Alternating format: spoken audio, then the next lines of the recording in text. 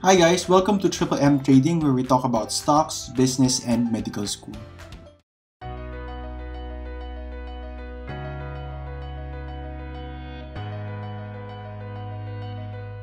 So in this video, we are going to discuss three stocks na naging market movers for today's uh, stock market.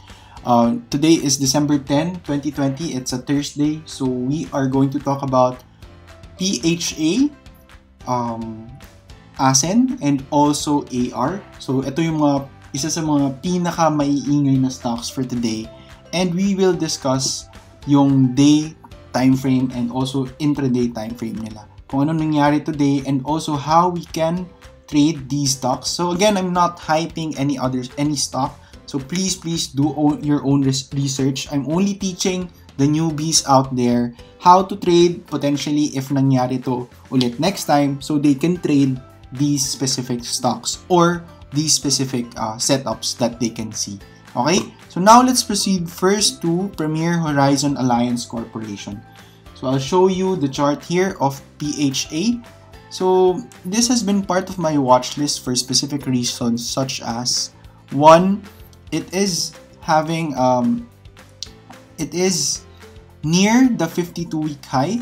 So 52 week high has been 0.87 and uh, there was significant volume today and also RSI has been above 70 for the past few days. So as you can see, nag-drawing ako ng isang Darvas box. So yung Darvas box is um, basically setting your resistance point which is on the top and your support areas at the bottom. So as you can see on November 27, so November November 18 and 19 there has been two days of breakouts. So tuloy-tuloy yan and then it reached around 0.87 yung wick ng candle na yan and also nag-close shot around 0.84 uh, 0.82 I should say. So ngayon, uh, nag-downtrend na siya tuloy-tuloy ever since that time and formed a support area during this time ng 68. So ngayon, when is the best opportunity to buy during these times? So again, um, we have the certain styles such as yung DB50 which you call you you may call uh, Darvas box 50%. So basically this is a Darvas box. So you there's a line in between. So yun yung 50 Darvas box 50. So usually you buy pag nagkaroon ng breakout from that Darvas box. So however, makikita nyo if you bought here, basically if you bought during this candle November December 1, um, ang magiging cut loss point mo dyan most likely would be at 0.72.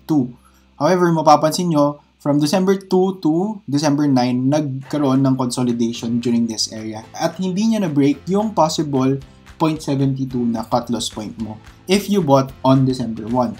So again, if naman hindi mo pa siya hawak, possible opportunities to buy during these consolidations but that would be riskier. Pero syempre, 0.72 pa rin ang iyong um, cut loss if ever yung time na to. Pero pwede ring buying opportunity if bumibili ka during uh, support areas but is a lot more risky riskier. So so itong 68 levels pwede kang bumili dito. It's a definitely higher uh, higher percentage gain. However tayo kasi we want to buy on confirmation candles such as December 1 and also today.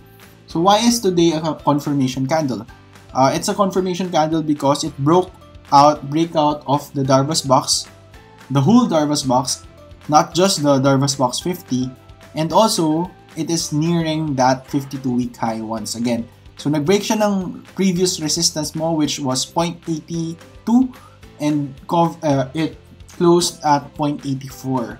So, that is usually a good sign. So, hopefully, you were able to notice during this time nakahanap kayo ng opportunity to buy. And we are going to check that on the 3-minute chart. Okay? Pasensya sa internet, medyo mabagal. Okay, loading lang tayo. Okay, here we go. This is the 3-minute chart of PHA. So, mapapansin natin na nag-open siya December 10, itong consolidation area na to. Nag-open siya at around 0.75, 0.74. So, when do you actually buy kapag ganito yung nakikita mo? So, you would set this resistance, 0.76. Ito yung previous na na-reach niya, December 9. And you could check the past few days, ito rin, isang resistance. Yan. Okay? And also, another resistance would be this. Yan. So, ganyan ang makikita mo. And you would also look at the RSI and also the the volume. So, medyo significant yung volume niya. Pansin mo, uy, dumadami bumibili as compared to before. So, possible buying points would be this candle, around 0.77, or if medyo na-late these candles can also be an entry point. However, not so high of a gain kapag itong second candle yung pagbibilhan mo. So, still around 4% gain for the day. So, and then you're expecting for it to break out more and reach that 0.87 levels. So, basically, ganun lang yung entry point during the day. Pero, I advise you na, ako personally kasi, I look at the day day chart and then that's where I base my trades rin. Pero I also check yung intraday para mas maganda yung entry ko if bibili man ako. Ayan. Okay? So basically, again, this candle, confirmation, then possibly hold, hindi ka naman napakat loss, or during that consolidation, and also again, syempre, during this day. So yan, uh, yan yung trade for PHA. So next naman natin would be asset. So again, ito yung ASIN trade natin. So mapapansin nyo, same, same uh, mechanics. So nakagawa na tayo ng previous video about this before. So basically, I'm a Darvas Box trader, volume lang, and resistance areas. And so, review natin konti, confirmation candles, yung 30% gain, Darvas Box, Darvas Box break, 10% gain, confirmation candle of reversal, 11% gain. Again, um, Dar- Darvas Box breakout, MA is going up, RSI is going up, um, high volume, also 12%. And again, if you mo yan, malaking-laking percentage gain until, kasi sobrang uptrend ni ASEN. So ngayon, isipin mo, how can I possibly enter this trade? So mapansin mo, it's also consolidating with the, within this area. So it's about to break out. So possibly, pwedeng mag-breakout siya or mag-retest siya ng support. So, yun yung possible na mangyari. However, makita nyo, pansin nyo, medyo increase yung volume niya for the past 2 days, 20 million siya today, and 4.46 siya.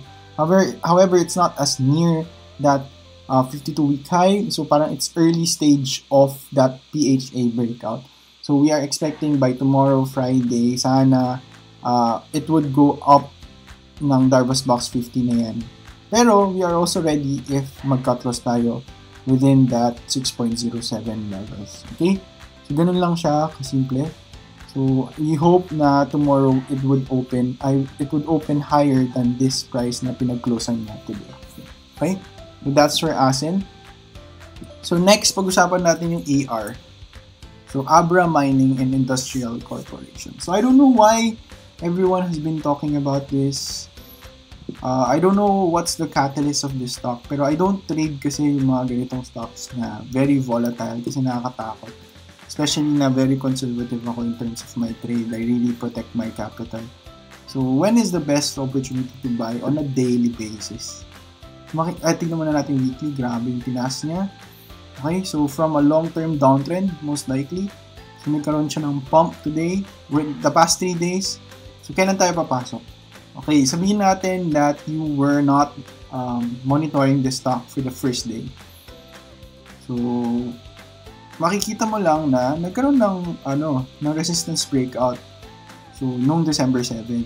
However, a lot of people were already um, buying during this area most likely nag-iipon-ipon na sila pero hindi mo kasi sure if aangat yan unless magkaroon ng breakout na ganito. So for me, personally, I would go here sa candle na to. Medyo late siguro. And then, if bumili ako dyan, on the breakout, syempre medyo na late ako, 0.14. That's a solid 100% gain. Okay? Makikita nyo rin on the RSI, grabe yung peak niya. Pero kasi for me, these plays are not as sustainable as every other uptrend like an ASEN and also a PHA or other stocks na mas solid yung uptrend. Pero it's still profitable. So, it still makes you money. So, 3 days yan ha. 100% gain. So, let's look at the 3 minute chart kung paano nga ba natin ito matitrade. So, kita nyo, chair pattern, ay, uh, stairs pattern siya sobra.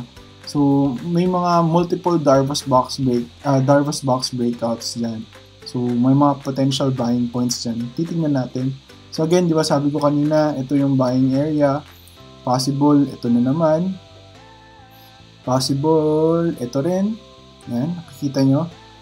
So, very, yan. So, nag-bounce.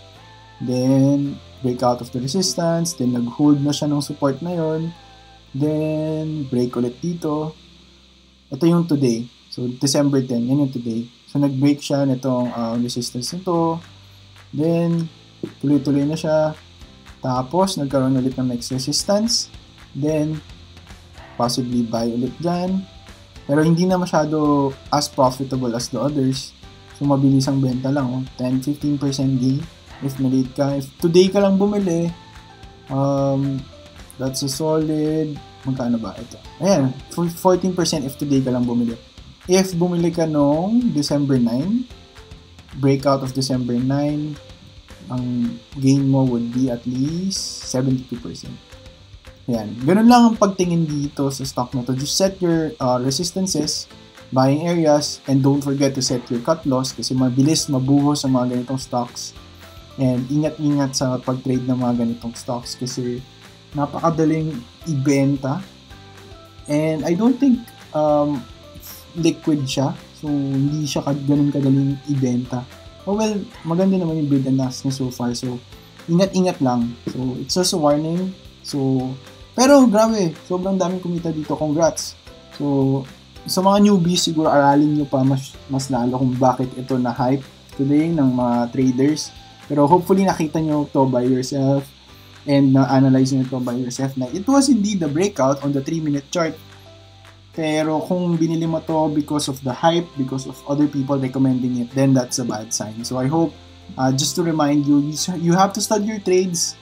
You have to monitor your own uh, stocks para meron ka rin self-development in the stock market. So yun lang so far for this video. Thank you and God bless.